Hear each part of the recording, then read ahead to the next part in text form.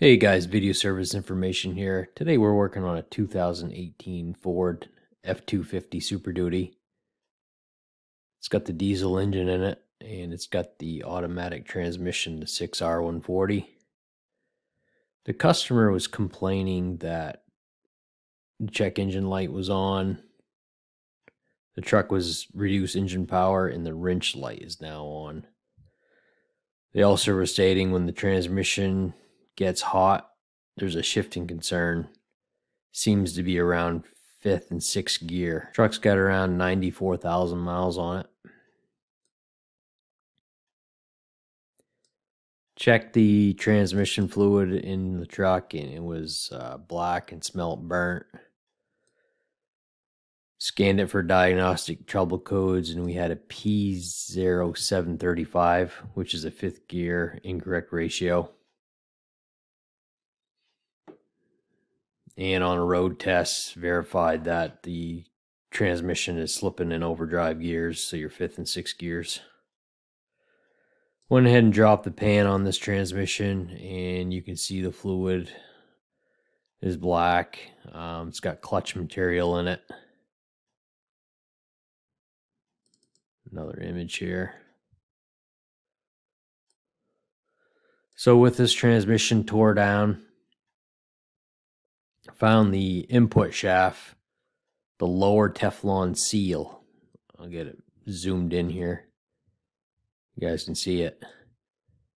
The lower Teflon seal is missing. And you have the scoring here on the input shaft. I'll get it circled where, where the seal should be so you guys can see it here.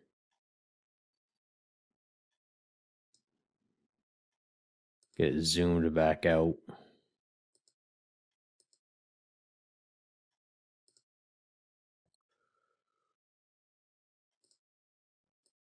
You can see the Teflon seal here above it is still intact. There's also some scoring here.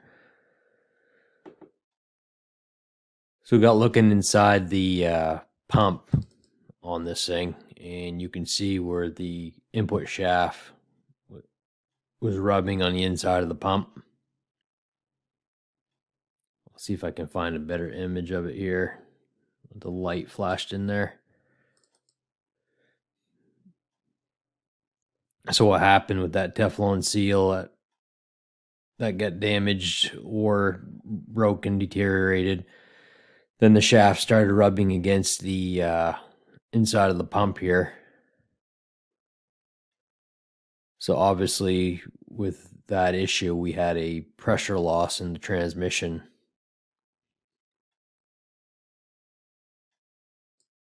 And that pressure loss caused the uh, clutches to burn out, the overdrive clutches. You can see how the steel plates have heat marks on them and the fibers are all black and burnt.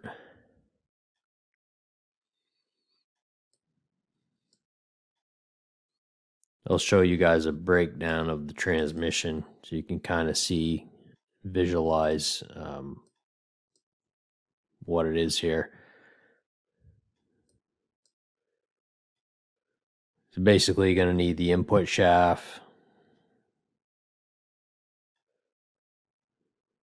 It comes with the clutch cylinder on it that houses the clutches. Then you have all your overdrive clutches, um, your steel plates and your fiber plates. And those those Teflon seals right here.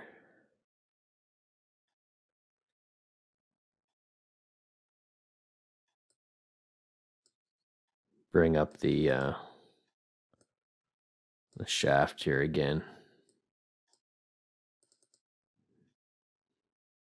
So you can see it did a number to the shaft far as everything else, I mean, the planetaries looked okay. Um, looking at the case here, this is just fluid from the disassemble, but there's no prior external leaks where it lost fluid or anything like that.